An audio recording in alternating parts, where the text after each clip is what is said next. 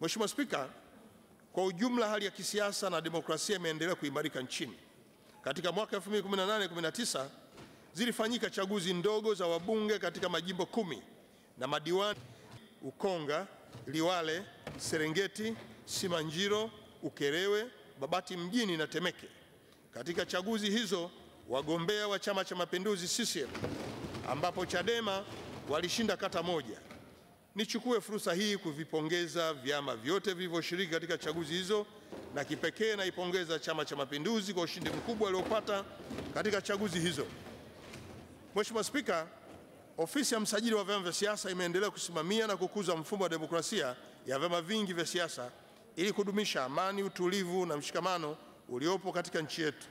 Katika kutekeleza jukumu hilo, sheria ya vyama vya siasa namba tano ya mwaka 1992 sura 354 imefanyiwa marekebisho ili kuondoa mapungufu yaliyojitokeza wakati wa utekelezaji na hivyo kuiwezesha ofisi ya msajili wa vyama vya siasa kutekeleza majukumu yake kwa ufanisi.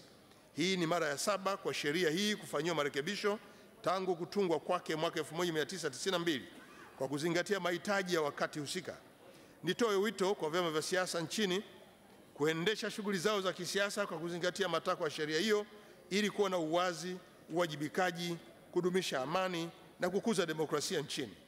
Mheshimiwa Spika, katika mwaka 2019-2020 ofisi ya msajili wa vyama vya siasa itaendelea kuelimisha umma kuhusu utekelezaji wa sheria hiyo, kusimamia vyama vya siasa nchini na kuhakikisha vinajiendesha kama taasisi. Vile vile itaendelea kusimama utekelezaji, kusimamia utekelezaji wa sheria ya gharama za uchaguzi ya mwaka 2010 katika uchaguzi wa serikali za mitaa wa mwaka 2019 na maandalizi ya uchaguzi mkuu wa mwaka 2020. Uchaguzi wa serikali za mitaa mwaka huu 2019. Mheshimiwa Spika, serikali inaendelea na maandalizi ya uchaguzi wa serikali za mitaa kwa mwaka 2019 ambao ni uchaguzi wa sita tangu kufanyika kwa, kwa mara ya kwanza mwaka 1994 chini ya mfumo wa vyama vingi vya siasa. Hivi sasa serikali imekamilisha zoezi la uhakiki wa maeneo ya utawala ambayo yatashiriki kwenye uchaguzi huo katika halmashauri zote 185. Lengo la uhakiki huo ni kujiridhisha na usahihi wa maeneo hayo kwa idadi na majina ili kufanikisha maandalizi ya bajeti na mahitaji mengine kuhusu uchaguzi huo.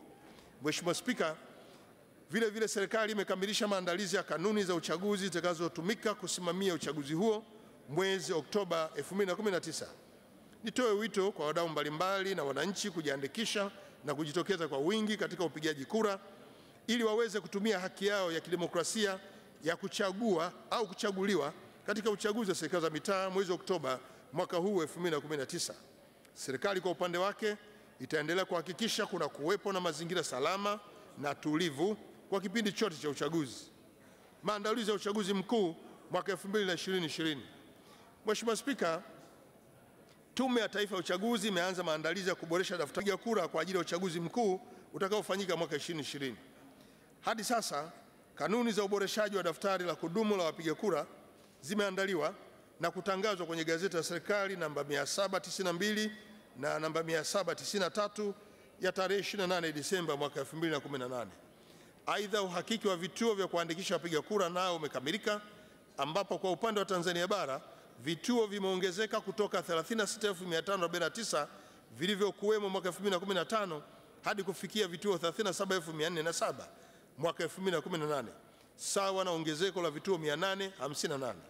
Kwa upande wa Zanzibar vimeongezeka vituo 27 kutoka 380 vya mwaka 2015 hadi kufikia 407 mwaka 2018. Natoa wito kwa wananchi wenye sifa kujitokeza kwa wingi kujiandikisha mara zote hilo litakapo zoezi. Katika mwaka 2018-19 bunge limetimiza na huu ukiwa wanne. Katika mikutano hiyo masuala mbalimbali yamejadiliwa na kutolewa ufafanuzi na serikali ikiwemo hoja za kamati za kudumu za bunge. Aidha, jumla maswali ya msingi 374 yaliulizwa na waheshimiwa wabunge na kujibiwa na serikali yakijumuisha pia maswali ya nyongeza 978. Maswali ya msingi 19 pamoja na moja la nyongeza yaliulizwa na kujibiwa. Vile vile miswada ya sheria ya serikali 12 iliwasilishwa, pia imejadiliwa na kuridhiwa na bunge kuwa sheria za nchi. Maazimio ya bunge matatu pamoja na itifaki za kimataifa Ni matumaini ya serikali kwamba bunge lisimamia serikali. Mheshimiwa Spika, katika mwaka 2019 2020 ofisi ya bunge itafanya ukarabati katika ukumbi wa bunge, kuboresha miundombinu mingine ya ofisi zake ikiwa ni pamoja na usimikaji wa mitambo ya usalama katika majengo ya bunge na kukamilisha ujenzi wa vyumba, eh, nyumba za viongozi wa bunge hili.